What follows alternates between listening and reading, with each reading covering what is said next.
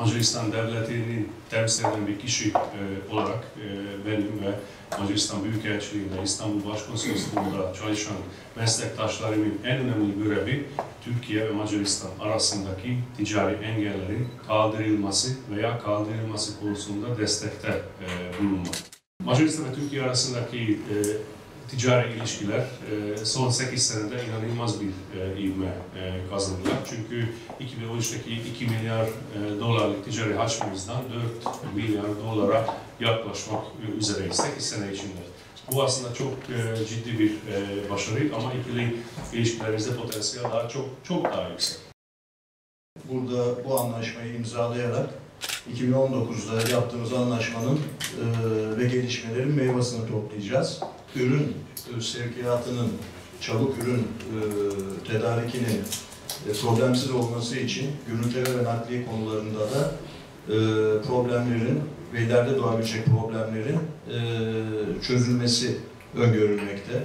E, bu anlaşmayla, e, bugün imzalanacak anlaşmayla bize elimizden gelen desteği e, olabilecek problemlerin çözümü, verilecek eğitimler, e, şirketlerin e, ihtiyacı olan feedbackleri e, bu anlaşmadan sonra daha süratli servis etmeye başlayacağız. Aynı zamanda Dünya Türk İş Konseyi'nin Avrupa Başkanlığı'nda yapıyorum.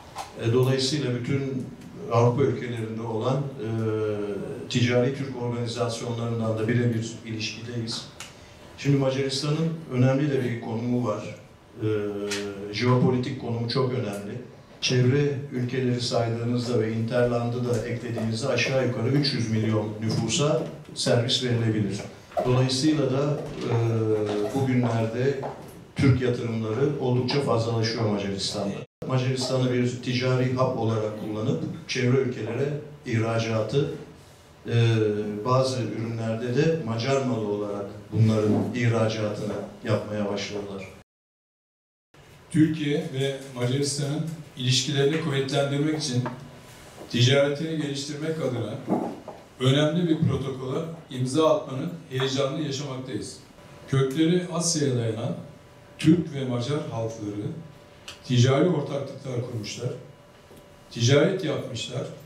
En önemlisi ise yüzyıllarca bağlarını kuvvetlendirerek her zaman birbirlerinin dostu, destekçisi olmuşlardır. Bu güçlü ortak tarihten bize düşen görev ise bağlarımızı daha da kuvvetlendirmek, gelecek nesillere dostluğumuzu, büyüyen ticaretimizi aktarmak olacaktır. Bu protokol sayesinde gümrük alanındaki gelişmeler, değişimler ve ihtiyaçlar eş zamanlı olarak iki ülke gümrük müşavirleri tarafından paylaşılabilecek, anında çözümler üretilebilecektir. for, for some reason. Okay. Yeah. Plus for the signal.